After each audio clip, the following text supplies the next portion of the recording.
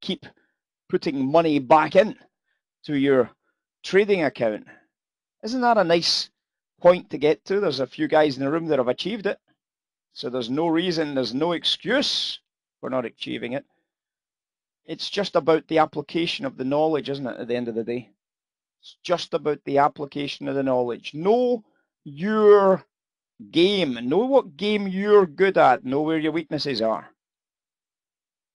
Sometimes it's frustrating for me as a teacher to see a trade going by and some people aren't on board the trade, but I also accept and I understand that not everybody trades the same way as I trade. Perhaps you need better value than I need because I'm more probably more active. I mean, and during a trading day, I'll maybe do 200, 300, 400, 500 trades. Individual trades, not, you know, as part of groups of trades at times. I'll maybe do 500 odd trades, right? You guys might not want to do 500 trades on a five lot, and that's two and a half thousand contracts a day that you're turning over. Maybe that's way too much for you. And I accept and understand that for a lot of people, the way I trade isn't exactly the same way as what you're going to be trading, but you've got to try and get your head round what kind of trader you are, what kind of person are you in your trading. We're just coming into the oil now, guys, just coming into the oil. Um, you've got to get your head round what kind of trader you are and try and figure out what the business end is in your trading. What are you trying to see? I'll just bring the oil across quickly, guys. Here it is here. It's uh, liquidity's at 48.50s. You can see the price driving up towards it. There was very, very little liquidity below the bottom edge here. Look, absolutely empty liquidity levels below us here. So very, very limited in terms of what the uh, oil has available in this balance area here. So now the only liquidity that was visible was 48.50s. It's uh, you know not going to give us much to work with in that type of environment, is it? So uh, nothing much for us on oil, I'm afraid. No fair value reads. No fair value reads before the oil took off. One-sided, one-sided only, 48.50s.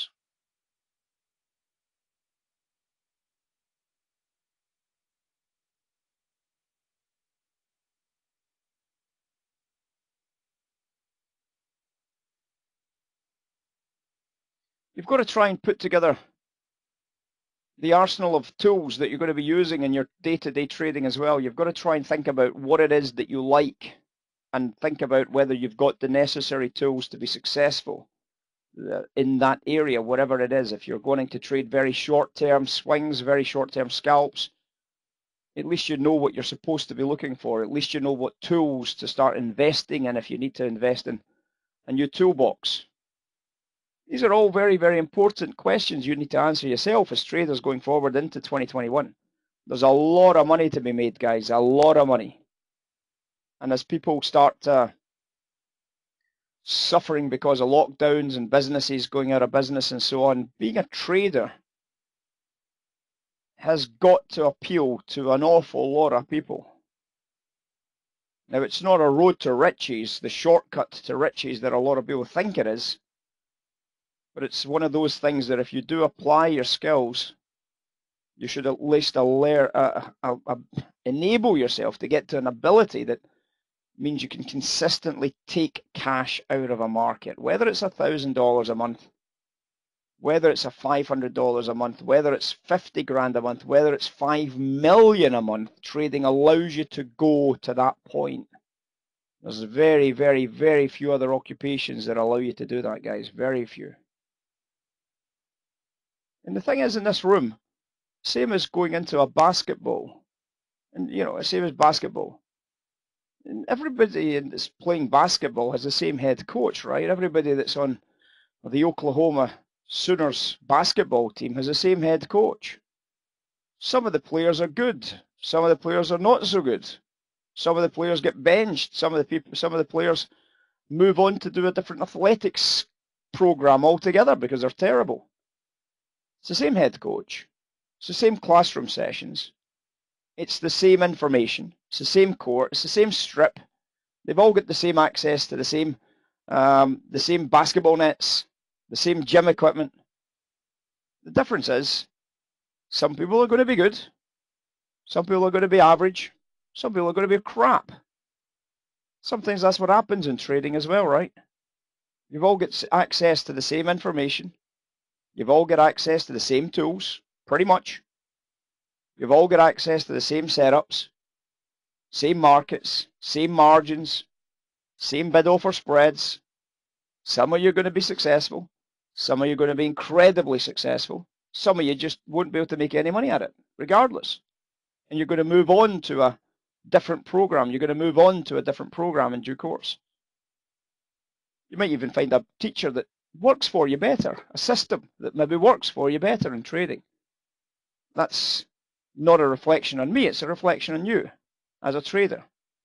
Some traders don't like the way that we trade, the commercial aspect of trading.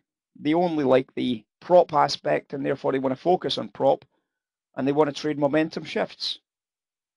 You know, once you start identifying the kind of trader you are, you can start focusing on the tools that you need to be the best trader that way possible. And if you find that it's not to your satisfaction or your enjoyment, you can always change it. You've not married a style at the end of the day. You've not married the fact that you're trading like a prop, for example. You can change it to go back into maybe trying to be a better commercial trader, in which case you change your tools, you change access to which lines are better for you, which levels start working on some of these ideas as well. At the end of the day, it's your choice. You choose which way you want to take your trading. And obviously, we're here to support you in the best way we possibly can do by giving you the necessary ideas that help to develop those ideas, whether it's a bigger, longer term swing or whether it's a shorter term one minute chart, five second chart, even. That's a choice you've got to make. The point is, you've got to make that choice. You can't have it all. You can't trade 10 markets simultaneously. Can't have 10 markets simultaneously running on 20 different screens and expect to be great at all of them. I'm not. The number of trades I miss on oil, for example, because oil is like market number three or four for me in terms of priority. My priority is to make sure I don't miss any bond trades and then and then into the equity markets and then into the forex markets for the pound and then into the oil markets eventually. So I do miss a lot of oil trades. You've got to try and figure out what markets are the best markets for you guys. You know, you've got to try and understand that a lot of trading is is literally very, very close to where you're at at the moment.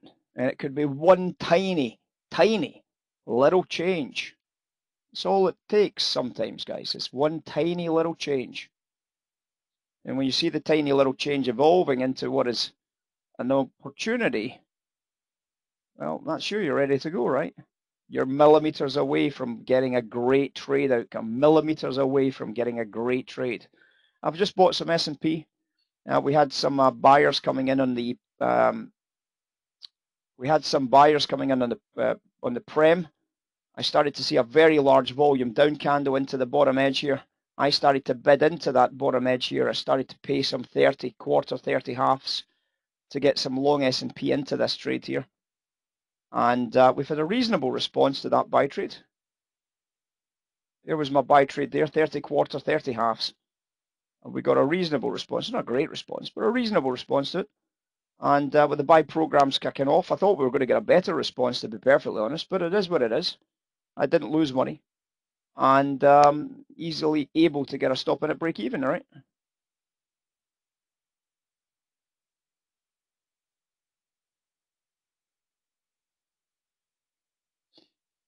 Well, that's it. Uh, that's it, Murray. I mean, it's um.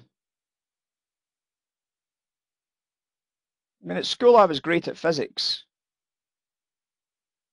but I had a teacher that I just didn't get on with. And um, because of that, my grades started to suffer a little bit. And I had to do an awful lot of physics at home. I had to start uh, getting some tutoring at home so that I didn't start falling off the um, falling off the the, uh, the uh, kind of grades that I was expecting to get because my original idea was to become an astronomer when I was at school. My first thoughts when I was at going into uh, like first year at school was to become an astronomer or something to do with uh, astrophysics of some description. So when I was like 11s, 12s, that was my passion. That's where I was. That's where I thought I was destined to go into was astrophysics of some description.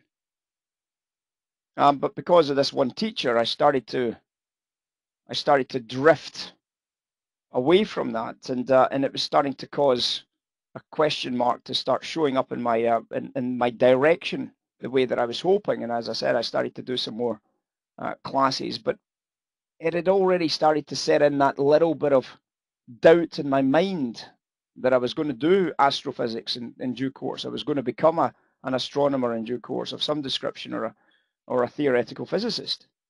And I stopped at that stage. I stopped having that passion that I needed to take it to that uh, to that level.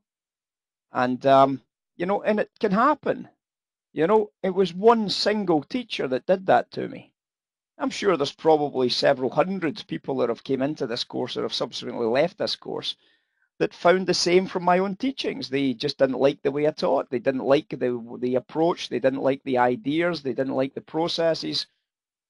And that's it's not right for everybody, is it? Some people think I'm crude. Some people think I'm rude. Uh, you know, it's, it's everybody's got a different opinion about different things, haven't they? Some people think it's funny. Some people think it's uh, it's crass. Some people think it's whatever. It is what it is. It is just always what it is. It's never going to be anything other than that. But you've got to choose. You've got to make those choices for yourself about what it is you like. You've got to make those choices about what it is you like and how you respond to certain ideas and certain thoughts and it's up to you whether you want to change the direction of your whole life if you want to take it from trading point of view. But you've also got to think about your simple things like the software that you're using. Is the software causing you to be frustrated a lot of the times about certain trades? Are you getting pissed off that you're not seeing the trade in time? Are you starting to think that you need to go down a couple of time frames? You've got to have that conversation with yourself, haven't you? You've ultimately got to have that conversation with yourself and try and figure out what the answers are because these are very, very important answers to come up with.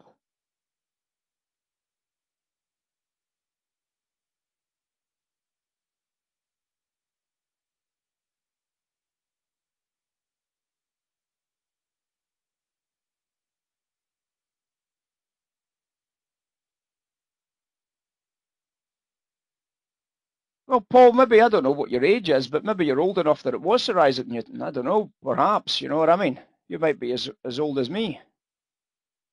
So there's a very good chance that it might have been.